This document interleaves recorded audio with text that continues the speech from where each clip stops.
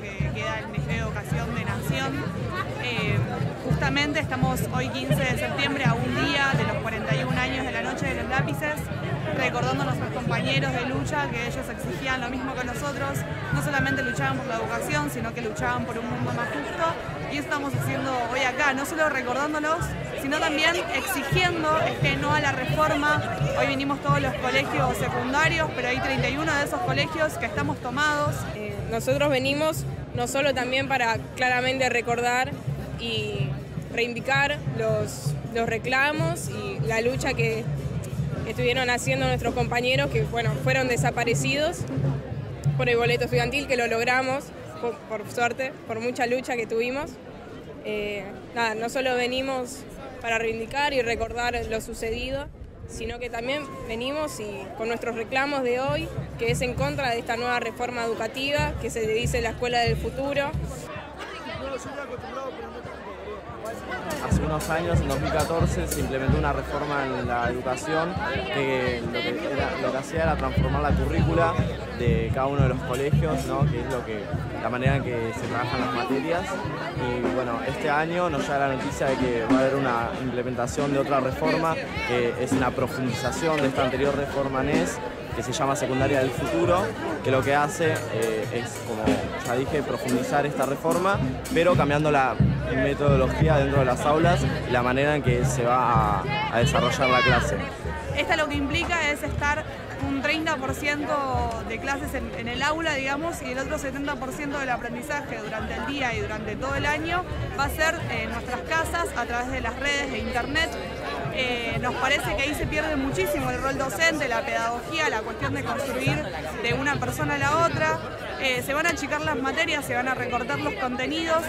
Las materias no van a existir como tales, sino que van a ser cuatro áreas donde se van a estar representando la especialidad y las materias sociales, eh, naturales, económicas, exactas.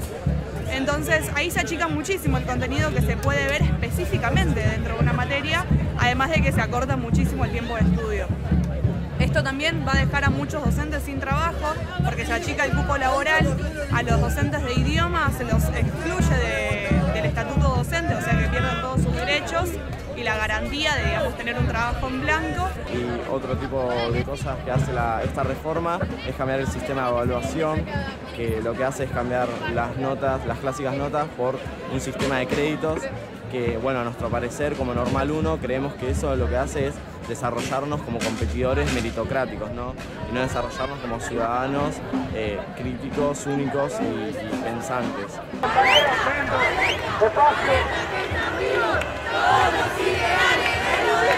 Lo principal siempre es criticar el enfoque que tiene esta reforma, que es desarrollarnos para la- las necesidades del mercado laboral, lo cual estamos totalmente en contra, porque lo que queremos hacer nosotros es estudiar y no trabajar. Este último punto se nota más que nada en los quintos años, que va a haber una reforma con 50% del tiempo va a ser en las clases normales, pero el 50% del tiempo va a ser en otro espacio, en otro ámbito. Ellos lo llaman prácticas profesionalizantes, para que puedas, para que puedas poner tu conocimiento, el que desarrollas durante la clase, en otros ámbitos que no sean el colegio. Esto lo entendemos nosotros como una, una utilización de, los estudiantes como mano de obra barata. Y bueno, y va encadenado con todas las cosas que están pasando en el país últimamente, viene encadenado con los despidos, con una futura flexibilización laboral, con una futura reforma laboral. Y, creemos que bueno, que, que esto que es como la chispa, me parece que tendríamos que empezar a actuar a partir de esta chispa que se está encendiendo para que no siga avanzando.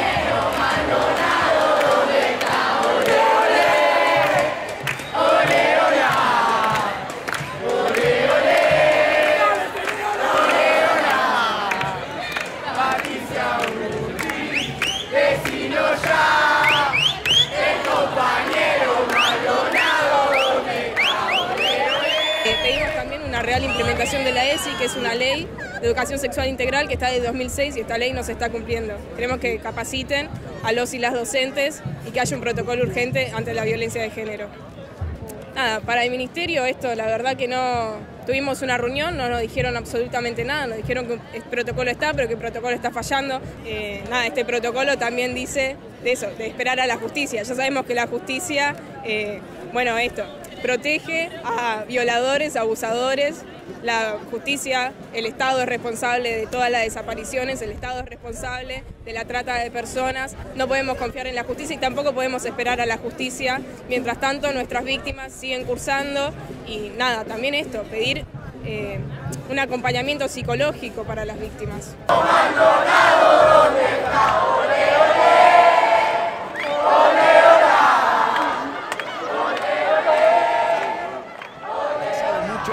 El puente, pero no tengo más que felicitaciones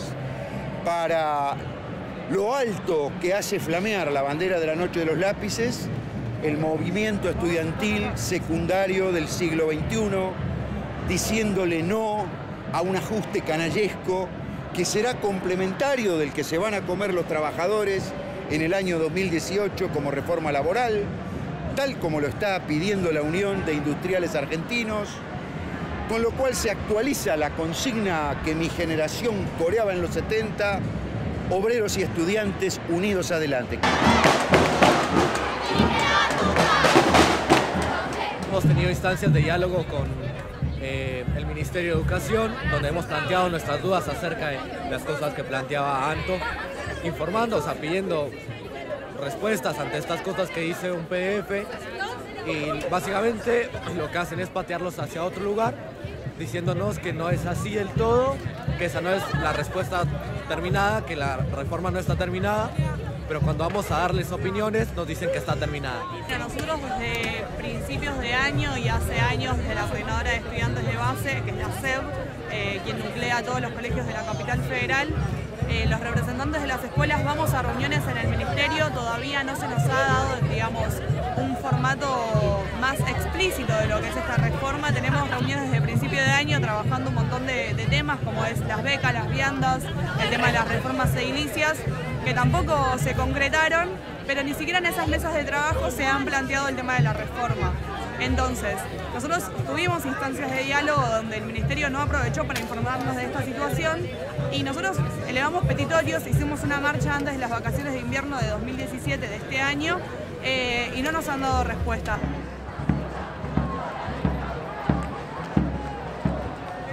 Eh, de parte de la comunidad educativa hay bastante apoyo, de parte de docentes, de padres, se han acercado padres a entregarnos eh, productos de limpieza, comida, ese tipo de cosas para poder ayudarnos vieron que a veces estábamos bastante cansados, entonces venían y daban una mano, daban charlas, abríamos talleres, dimos talleres de género, de, sobre la reforma también, de música, analizamos letras de música junto a docentes, gente, personas que venían a ayudarnos y a darnos una mano.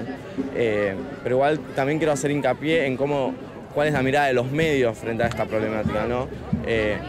hubo una previa mucho antes, antes de que se empezara a mediatizar el tema de las tomas, que fue el tema de Santiago Maldonado, ¿no? Cómo los medios nos veían a los estudiantes, a nosotros, como personas brutas y que no, no podíamos pensar por nosotros mismos y eh, decían y, afirmaban que nosotros, a nosotros nos lavaban la cabeza y nos politizaban, por así decirlo.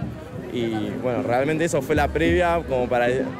darnos cuenta cómo realmente los medios nos ven a, nosotros los estudiantes. Y bueno, se terminó por confirmar cuando empezó a mediatizarse la toma, cuando empezaban a, hacer los típicos recortes, ¿no? no ver los talleres y las comisiones que se, hacen dentro de la, de la, toma y sí ver problemáticas, pequeñas situaciones que, exceden capaz a los alumnos como problemas en los que, no sé, pasa el alcohol o, alguna sustancia que, claramente eh, está fuera de contexto en la situación y bueno, ese recorte que hacen los medios de enfocarse simplemente en eso y no en lo que realmente, cuál es el contenido de la toma y cuál es, eh, por qué estamos haciendo eso y bueno, es más de lo mismo, igual más que nada eh, estamos acostumbrados a eso, pero, bueno, quiero hacer hincapié en, en los medios, en cómo realmente nos ven ellos y cómo nos muestran hacia el mundo.